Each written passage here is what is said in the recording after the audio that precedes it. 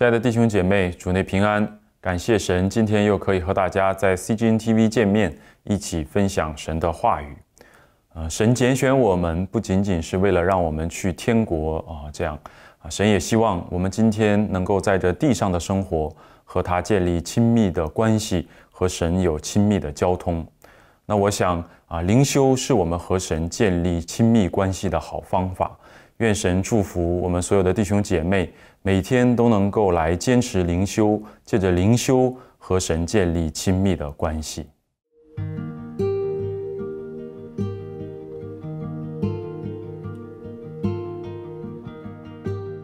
约伯记第十五章一到十六节，提曼人以利法回答说。智慧人岂可用虚空的知识回答，用东风充满杜甫呢？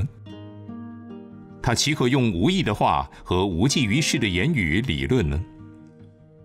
你是废弃敬畏的意，在神面前阻止敬虔的心。你的罪孽只叫你的口，你选用诡诈人的舌头。你自己的口定你有罪，并非是我。你自己的嘴见证你的不是。你岂是头一个被生的人吗？你受造在诸山之先吗？你曾听见神的密旨吗？你还将智慧独自得尽吗？你知道什么是我们不知道的呢？你明白什么是我们不明白的呢？我们这里有白发的和年纪老迈的。比你父亲还老。神用温和的话安慰你，你以为太小吗？你的心为何将你逼去？你的眼为何冒出火星？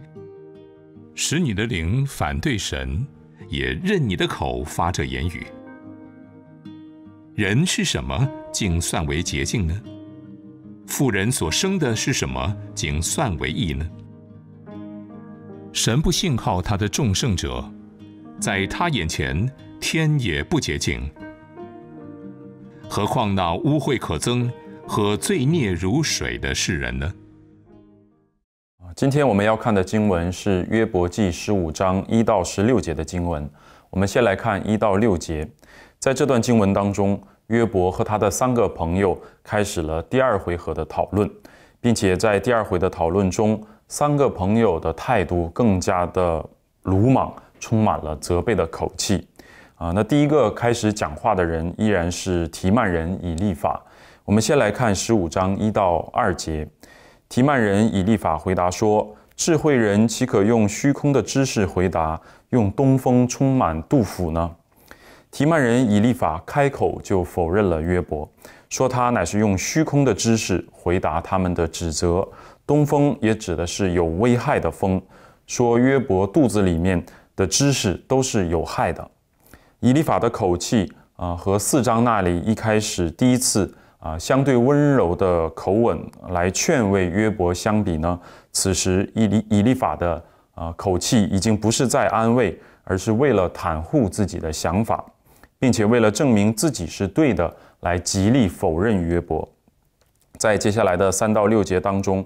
都是在否定约伯，指出他的罪啊。我们来看三到六节，他岂可用无意的话和无济于事的言语理论呢？你是废弃敬畏的意，在神面前阻止敬虔的心。你的罪孽只叫你的口，你选用讹诈人的舌头。你自己的口定你有罪，并非是我。你自己的嘴见证你的不是。以利法说：“约伯讲的都是无意的话，没有敬虔的心，舌头是诡诈的，认为约伯讲的话都是错的。”在这里，我们看到第二回的讨论已经不是以安慰和帮助为目的了，而就是要争辩。那争辩的目的不是为了建造约伯，也不是为了帮助约伯，就是为了证明自己的看法是对的。这是我们在主里面要小心的。很多时候。在我们和别人的交谈当中，我们和别人的谈话，并不是为了了解别人的想法，也不是为了理解对方，只是为了让自己所坚持的得以认可，只是为了让别人可以说我的对。但各位知道吗？这样的谈话不是真正的沟通。如果我们只是为了坚持自己的想法而讲话，那么必然会带来的结果就是敌意和争吵。其实自将自己的想法绝对化是一种骄傲啊！神不希望我们和别人去争吵，我们对了又如何呢？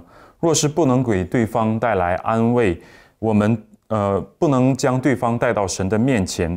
我们讲的再对、再有道理，又能怎么样呢？福音也是如此。福音不是一个道理，福音是神的大能。神希望我们能够啊，因着顺服神的带领而拥有得胜的能力。各位弟兄姐妹，如果你总是认为自己是对的，别人的都是错的，那么我想我们应该去悔改。福音不是讲对错，福音不是用来定别人的罪。福音是拯救人的福音。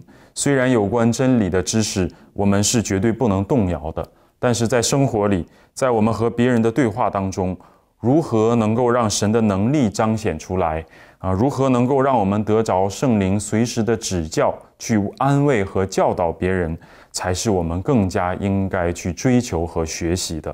愿神祝福我们都能够有这样的不论断。不争辩的心，以爱心和福音的能力来祝福、影响我们身边的人。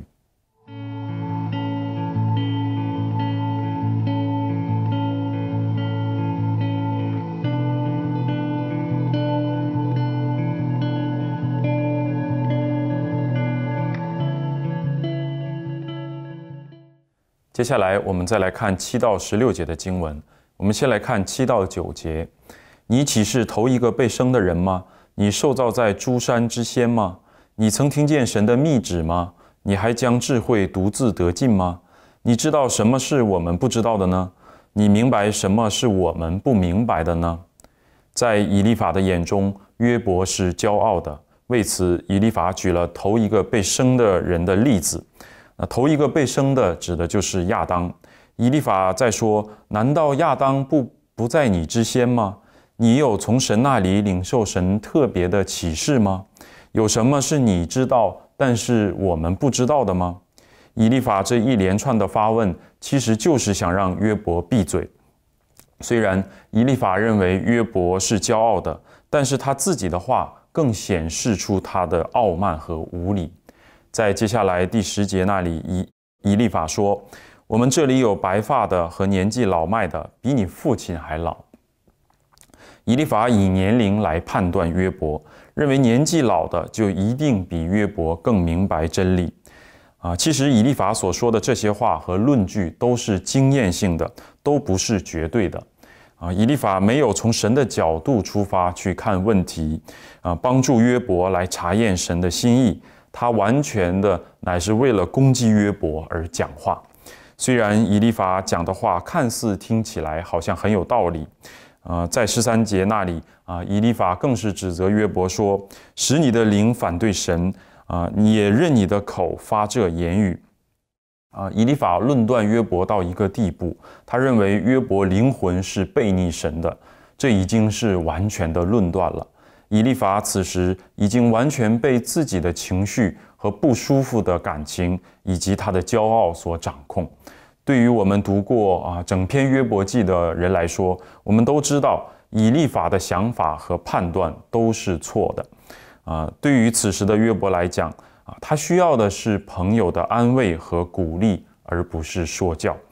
但是以利法却不能考虑约伯实际的处境，给约伯带来心灵上的安慰和属灵上的恢复。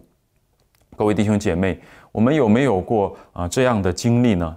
我们认为我们讲的都是对的，但是却没有考虑对方的处境和需要。我们只是把我们自己想说的话都说了，看似我们说的是对的，但实际上不仅是错的，还给对方带来更大的伤害了。愿神怜悯我们，这其实都是我们自以为意的地方。特别当我们信主的时间长了一点，在教会待了久一点的时候。啊，我们很容易看到别人的问题时，就给别人上课，好像自己什么都懂了似的。但其实这反而让我们成为别人在信仰上的绊脚石。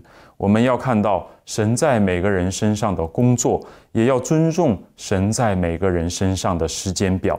当我们以为自己都对的那一瞬间，很可能就已经在心里开始了论断。在主里，重要的不是我的想法、我的感受，重要的是让神的荣耀得着彰显。愿神祝福我们，都能够成为别人的安慰啊，成为真正有智慧的啊神所使用的仆人。我们一起来祷告。亲爱的主耶稣基督，我们感谢你啊，主，感谢你赐给我们约伯记这样宝贵的话语，也真的是让我们能够通过啊这样的对话来反省我们自己的信仰。求主来怜悯我们，也赐给我们当得的各种各样的智慧。感谢神，以上祷告奉主耶稣基督的名祈求，阿门。